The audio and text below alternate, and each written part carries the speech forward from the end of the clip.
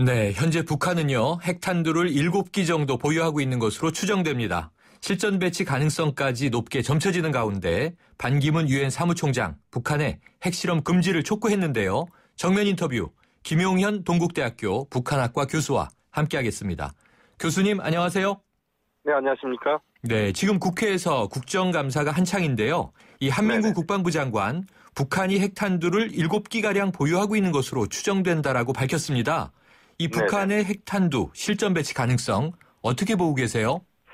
어, 그 부분은 아직은 판도라의 상자다 이렇게 말씀드릴 수 있습니다. 네. 어, 한민구 장관의 이야기는 이제 산술적으로 어, 북한이 7개 정도를 보유하고 있다 이렇게 지금 추정을 하고 있는 거고요. 네.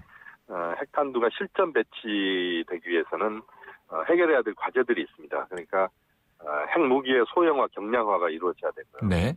그다음에 그 핵무기를 어, 운반할 수 있는 그 투발 수단이 예, 제대로 준비가 돼 있어야 됩니다. 그러니까 네. 미사일에 장착할 수 있는 핵무기가 아, 그 만들어져야 되는데 네. 그 부분에서는 아직은 미국이나 우리 한국 쪽의 정부 당국에서도 어, 그 수준을 어, 아직은 좀 명확하게 판단하기 좀 어렵다. 다만 북한이 핵 보유국에 준하는 그런 능력을 어, 지금 보유해 가고 있다. 이 부분은 분명한 것 같습니다. 네, 그렇군요. 자, 이 북한이 핵무기 소형화를 위해서요. 이미 오래전인데요. 1980년대 후반부터 100여 차례 고폭 실험을 한 것으로 파악이 되고 있습니다. 그런데 네네. 일단 올해는 이 고폭 실험이 없었다. 정부에서 이야기하는데요. 그래도 네네. 북한의 핵실험 계속되고 있다고 봐야 하지 않겠습니까? 어, 그렇습니다. 지금 뭐 고폭 실험이라고 하는 것 자체가 핵무기의 소형화를 위한 필수 과정이다 이렇게 봐야 되는데요. 네. 그동안 이제 북한이 꾸준히 고폭 실험을 해온 것이 우리 정보 당국에서 체크가 되고 있습니다. 그러니까 네. 어, 고폭 실험을 하게 되면 그 진동이랄지 이런 것들을 우리 쪽이나 아니면 중국 쪽에서 어, 지진파를 어, 그 확인하면 그 고폭 실험 가능성들이 확인이 되기 때문에 그런 것을 통해서 확인을 하고 있다 이렇게 볼 수가 있는데요. 네. 어, 올해는 지금 없는 걸로 지금 알려지고 있습니다만 어쨌든 북한은 핵무기의 소형화 경량화, 그 다음에 미사일 투발 수단의 확보, 이것을 향해서 지금 한 걸음 한 걸음 나아가고 있다 이렇게 봐야 됩니다. 네. 어, 역시 이제 북한 입장에서 국제사회를 향해서 미국을 향해서 어, 자신들이 어쨌든 어, 그 대화를 하는 건 또 그 과정에서 또어그 북한이 미국과의 경쟁을 하던 이런 전반적인 과정에서 핵무기의 진전 이것은 사실 북한으로서는 가장 중요한 그런 협상 수단이다 이렇게 봐야 됩니다. 네. 예, 그렇게 본다면 북한이 지금의 준비를 그 지속적으로 하고 있다. 아, 그렇게 그 평가할 수 있겠습니다. 네, 북한이 매달리고 있는 유일한 협상 수단이다, 협상의 카드다 이렇게 평가해 주셨는데요. 자, 오늘 네. 반기문 유엔 사무총장 초, 총장도요. 이 북한의 네. 포괄적 핵실험 금지 조약 비준을 촉구하지 않았습니까? 그렇습니다. 예, 미국, 중국도 포함이 됐고 이 북한에게도 네네. 핵실험 금지를 촉구했는데 이 북한의 네네. 반응 어떻게 나올 걸로 보세요? 어, 이 부분에 대해서는 아마 북한이 상당히 반발할 가능성이 높습니다. 네. 네 그러니까 미국이나 어, 다른 어, 핵무기 보유 국가, 아, 그 공식적으로 보유한 국가들이 핵무기를 포기하지 않는 상태에서 아, 이 약소국 또는 북한의 핵 포기만을 이야기한다. 이 부분은 북한은 받아들이지 않는다 이런 식으로 북한이 네. 상당히 강하게 반발을 할 가능성이 있다. 아, 그렇게 말씀드릴 수 있겠습니다. 그렇군요. 자, 이 김문수 전 지사가요. 북한 네 인권법이야말로 북한 핵위협에 맞서는 가장 강력한 무기다. 이런 발언을 했는데요. 교수님은 네 어떻게 보세요? 어, 사실 이제 그 부분도 뭐 우리가 여러 가지 차원에서 좀 접근을 해야 될 부분입니다. 네. 어, 다시 말씀드리면 이제 북한 인권법이나 북한 인권 문제에 대한 제기가 아, 북측을 상당히 그 여러 가지 차원에서 곤혹스럽게 할 수 있다. 그런 차원에서 김문수 지사의 발언이다 이렇게 봐야 되는데요. 네. 어, 역시 지금 상황에서는 어, 북한 인권 문제의 개선, 그 다음에 북핵 문제 해결, 뭐 이런 것들이 전방위적으로 음. 어, 좀 이루어지는 것이 대단히 중요하다고 보고, 네. 그걸 위해서 우리 정부와 아, 또 국제사회의 공조가 충분히 이루어질 필요는 있다고 봅니다.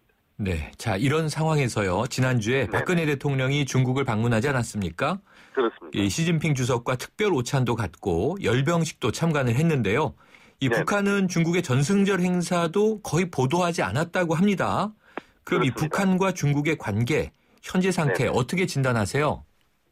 어, 그렇습니다. 지금 이제 사실 북중 간의 관계는 우리가 그 현상적으로 보면 네. 최근에 노동신문에 에, 북한의 에, 그 국가 창설 기념일 9월 9일이었습니다. 네. 이때 노동신문 일면에는 그 축하의 메시지가 이 쿠바와 아, 러시아의 메시지가 있었고 네. 어, 중국의 메시지는 일면에 들어와 있지 않았습니다. 네. 아, 그것은 결국 북중 관계 현상적으로 상당히 북한이 중국에 대한 불만을 지금 표시하고 있다 이렇게 봐야 될 것 같고요. 네. 아, 중국 역시 북한의 핵실험 이후에 3차 핵실험 이후에 에, 북한에 대한 불만을 지금 거두지 않고 있다. 이게 네. 지금 북중 간에 상당한 그 신경전이 벌어지고 있는 부분입니다. 네. 아, 다만 이제 북중 간의 전략적인 또는 전통적인 이해관계는 그렇지만 또 존재한다 이렇게 봐야 됩니다.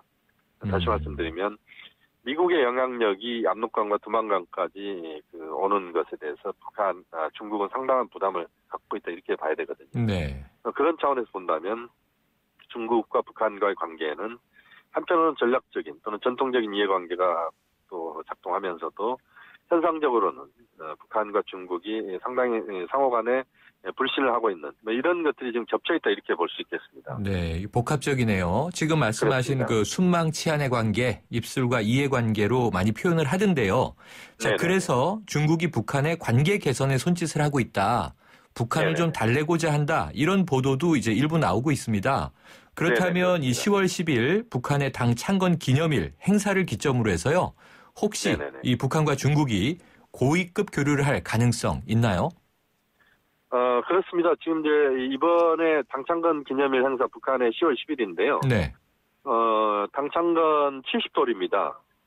어, 그러니까 1945년도 10월 10일 날 북한의 조선노동당이 창당이 됐다 이렇게 볼 수 있는데 네.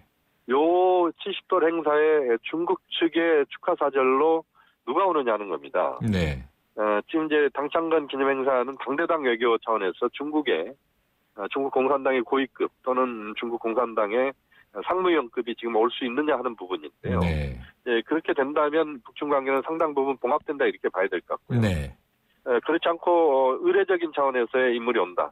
이번에 사실 북한이 중국에 전승절 때는 어, 최룡해 비서를 보냈지 않습니까? 그랬었죠.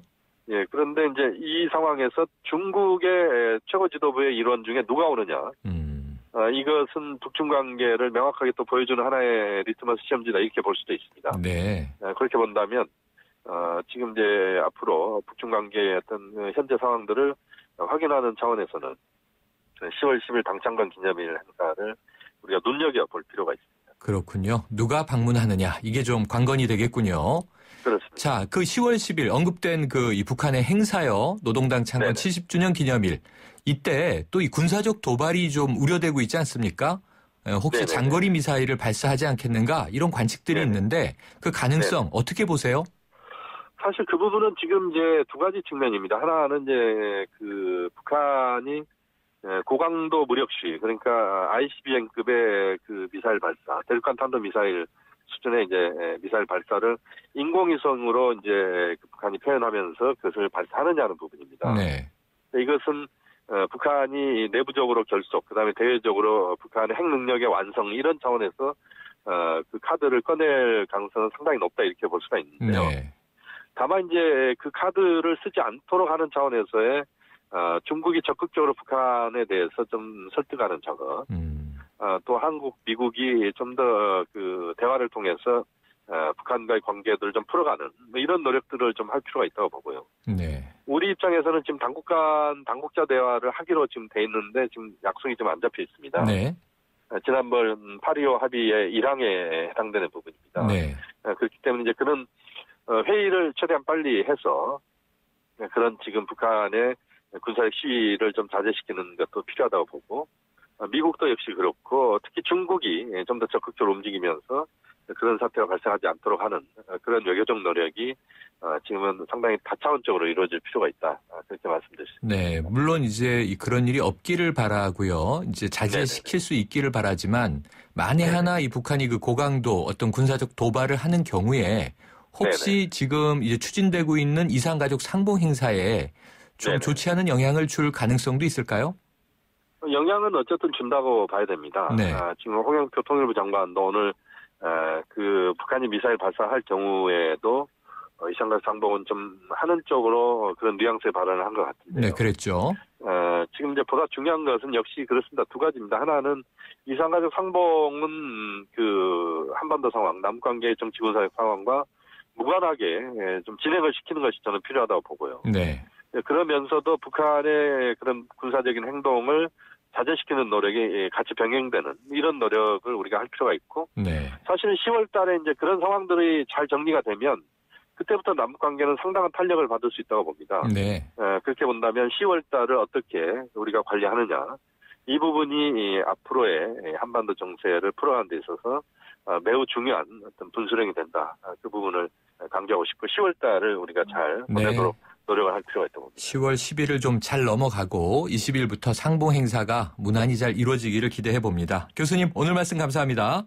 네, 감사합니다. 지금까지 김용현 동국대학교 북한학과 교수였습니다.